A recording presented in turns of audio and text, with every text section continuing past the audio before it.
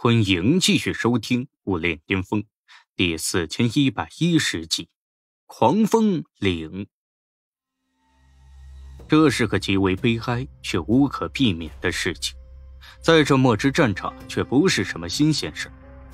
正因如此，当初六目神君才有一言：踏出不回关者，唯有两条路可走，死在墨族手上。死在自己人手上，除此之外再没别的选择。墨族打量着被命名为雾雾的杨开，什么修为啊？杨开催动自身小乾坤的力量，摆出恭恭敬敬的模样，答道：“六品。”墨族浓眉大眼，咧嘴露出狞笑，很好，显然对杨开的实力很是满意。走吧。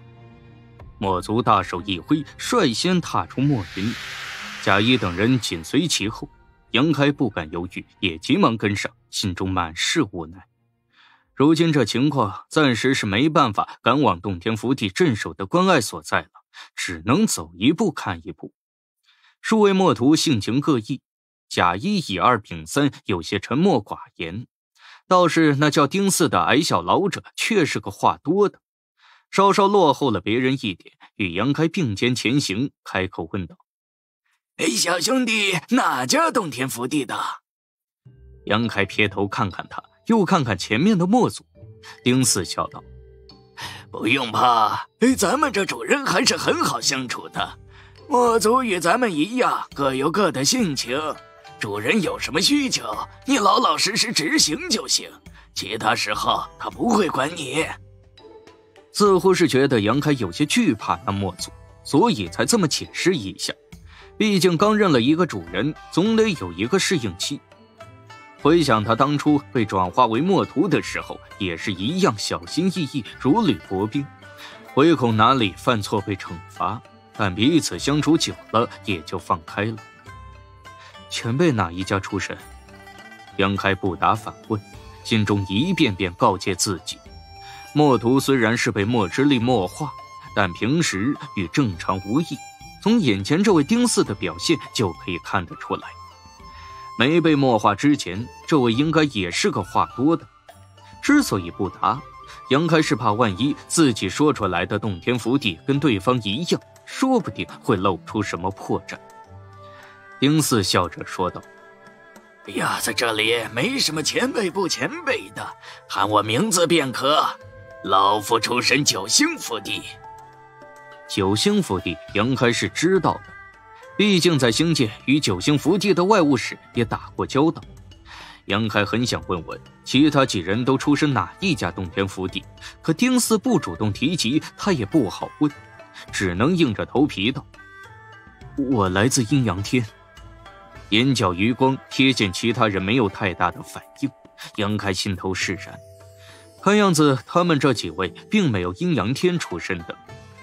丁四露出恍然之色：“阴阳天啊，那是个好地方。”杨凯不愿在这个话题上多说，言多必失，转而问道：“咱们这是去哪儿？”“狂风岭。”丁四回道：“咱们主人算是狂风岭的人，自然是要去那里的。”杨凯目光微闪，低声问道。主人是上位墨族，丁四口中提起的狂风岭，应该是一位墨族领主的领地。既然是领主下面的墨族，而且实力不低，那应该就是上位墨族了。杨开本就估计着，那墨族相当于六品开天的水准，如今看来确实没错。丁四也点头道：“嗯，主人确实是上位墨族。”一路与丁四随口闲聊着，发现确实如他所说，那位墨族还算好相处。即便察觉后方奴仆唧唧歪歪个不停，也没有阻止的意思。一路持续前行。杨开虽然屡次动起杀机，却不敢贸然出手。这里是墨族腹地，手脚若不做干净的话，极容易暴露行踪。而且来来往往，时不时的便会遇到一些其他的墨族。他也没有太多下手的机会，只能强行忍耐。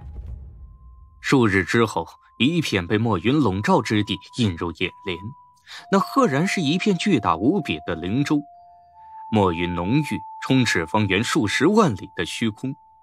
杨开曾经远远在虚空中见过的那如巨大花苞一样的东西，这灵州上居然也有，高高矗立在灵州的中央处。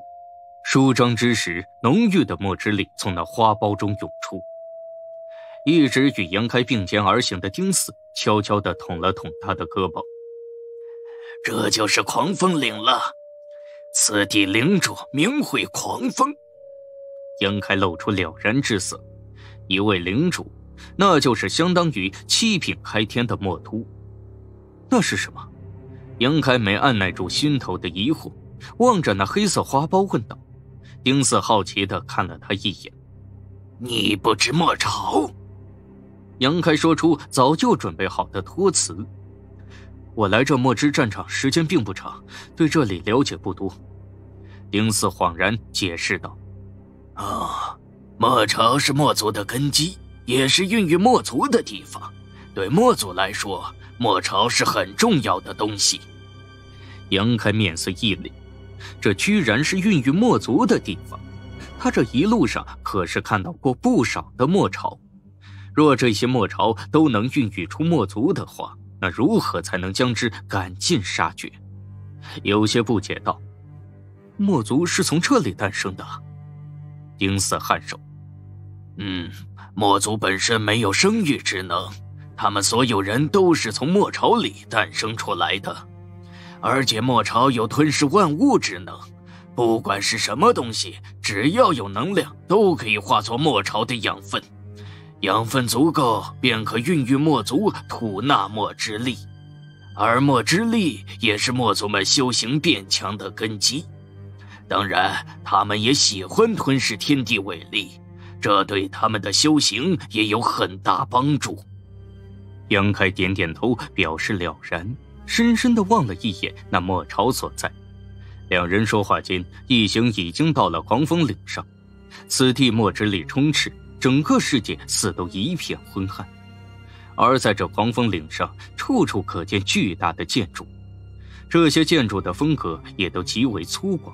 有着极为明显的墨族风格，这也不难理解。墨族本身便巨大无比，他们的建筑自然也不会小到哪里去。宽敞的街道上，高大的墨族来来往往，数量不少，大多数都行之影单。也有一些墨族拥有自己的奴仆，不过数量都不多，有的只有一位，有的两三位。如杨开这边有五位的，极为罕见。所以，领头的墨族走在前方，所过之处都能引来大片的关注目光。许多墨族望来的眼神中，更是充满了羡慕神色。这愈发让领头的墨族志得意满，走起路来虎虎生风，一副天老大他老二的架势。杨开左右观望，面色惊疑不定，因为他发现这街道左右两旁居然有类似店铺一样的存在。所售卖的商品也是琳琅满目，有一些甚至是人类武者修行需要的物资。墨族这边居然也做生意，忍了许久，实在是忍不下去了。杨开悄悄问了丁四这个问题，丁四笑道：“这些东西对墨族自然是没有用处的，但对我们有用啊！别看我们如今是主人的奴仆。”生死只在主人一念之间，但我们实力强大了，对主人也是有好处的。回头上了战场上，我们可以帮他擒获更多的奴仆，帮他吞噬更多的天地伟力，也可以守护他的安全。所以跟了一位好的主人，咱们也是有好处的。主人会想办法提升咱们的实力。之前那秘境之所以会优先允许蒙奇这样的墨徒们进入，便是因为这个道理。蒙奇也说了，墨族希望自己麾下的墨徒们实力越强越好，反正只要被墨化了，就永远不可能叛变，忠心是完全不用担心的。允许墨徒们提前进入秘境搜寻宝物，提升实力，然后那几位墨族领主才会进入其中吞噬天地伟力。杨开关注的却是另外一点。丁四其中的一句话，让他看到了摆脱墨族的希望。墨族总归是要上战场的，只要自己耐心等候，等到跟随出战之时，便可找机会摆脱或者击杀他们，与洞天府邸的强者接应，前往那些关隘所在。一念至此，一直以来的焦虑瞬间烟消云散。杨开心知自己如今需要做的，便是耐心等待。等待跟随墨族上战场的机会。一旁丁四还在说着话。还有啊，主人如今还没有一件飞行秘宝，如果想要的话，就得买些东西请人炼制。而且他们的生意不单单只是针对我们这些墨徒，墨族本身也是有生意往来的。杨开点点头。两人这边说着话的时候。墨族已经领着他们进了一间店铺中，店铺内另外一个墨族迎了上来，彼此似乎熟悉，相互说笑了一阵。杨开左右观望，发现这店铺里的东西还真是什么都有，有武者用的秘宝，还有一些灵丹妙药，更有一些品质不俗的修行资源。这些东西在三千世界都算常见。吸引杨开注意的是一个个有人头大小、水晶球一般的东西。这东西数量不多，只有十几个，摆放在最显眼的位置。在杨开等人到来之前，已经有墨族围聚在这水晶球四周观望打量，面露异动之色，仿佛这些水晶球对他们有大用一般。杨开瞧了瞧那些水晶球，看不出什么端倪。只见得里面似乎有什么东西在流淌，稍稍放出神念一试探，顿时眉头一皱。他不敢太过放肆，但方才那一瞬间的查探，他似乎察觉到了水晶球中蕴藏了极为浓郁的天地伟力。慎行！丁四察觉他的动作，连忙提醒一声。在这墨族聚集之地。忽然放出神念去查探，极有可能会惹怒脾气不太好的墨族。真到这个时候，墨族主人可不会偏向他。欲知后事如何，欢迎继续收听《武炼巅峰》第四千一百一十一集。